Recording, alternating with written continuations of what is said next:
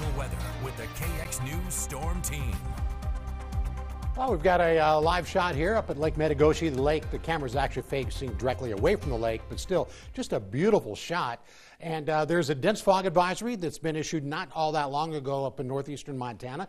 This was issued uh, a little earlier this evening, and there may or may not be other counties in North Dakota added. That'll be up to the National Weather Service, and if there's enough fog that would require them to do so. Uh, as we're looking at uh, what to expect for tonight, I think there will be areas of fog, and some spots might even be dense. And uh, rising temps are already starting to happen in the north.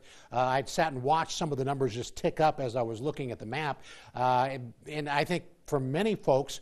It might be warmer tomorrow morning when you wake up than it is right now. And then uh, for high temperatures tomorrow, I think we're going to be looking at 20s along the probably close to the international border. And then if you go from about, oh, say Rolla or Dunseith, that area, and then down towards uh, Ashley, you might be looking at 20s for highs, but once you get west of that, a lot of 30 degree high temperatures tomorrow. That is going to be a nice jump. Might even see some 40s in southwestern North Dakota.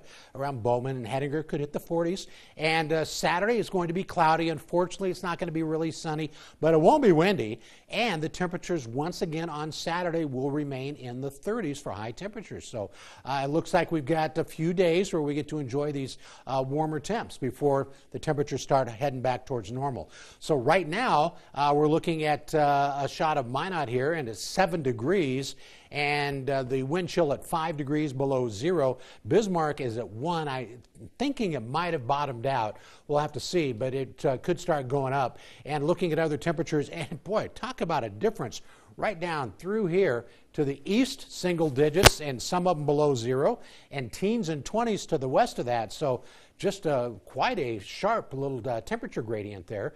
The wind speed is roughly 5 to 10 miles an hour, a couple spots 10 to 15, mainly in western North Dakota. So it is providing uh, some wind chills on our absolute comfort wind chill map. Uh, 12 below in Bottineau and in Rugby for wind chills. Yeah, even Linton at 12 degrees below zero. But you get where it's warmer? Yeah, nothing like that.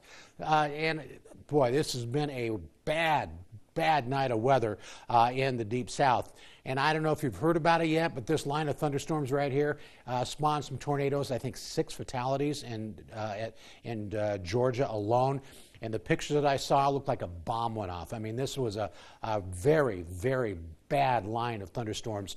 And in the next few hours, it'll make it off to the coast. But right now, uh, there's a lot of people in, in a real hurt there. So let's check out the uh, Climate Prediction Center. Uh, and so this is giving us roughly even odds uh, to go a little bit above, a little bit below normal. Might just think, eh, maybe we'll be around normal. But that's for these dates here, the 20th through the 26th. And then uh, this is giving us at least a bit of a signal for uh, temperature or for the precipitation to be a little bit above average for those dates. So if you're looking for something to do this weekend because the weather is going to warm up, uh, how about some skiing, downhill skiing, right? Huff Hills uh, or maybe the Bottineau Winter Park. The uh, hours all weekend long will be 10 a.m. till 5 p.m. It's a long uh, Martin Luther King Jr. Day weekend, and I know at least Huff Hills is going to be open on Monday. And as we check out the Bismarck seven day uh, outlook, you can see these warm temperatures fall back to around average, but we've got three days before that happens. So, Brooke and Nicholas, I mean, it's not like the best weather we're going to have, but in January, it's a nice little break. Certainly is. It'll be a nice weekend for skiing. Thanks so much, Tom. A little later on in the show,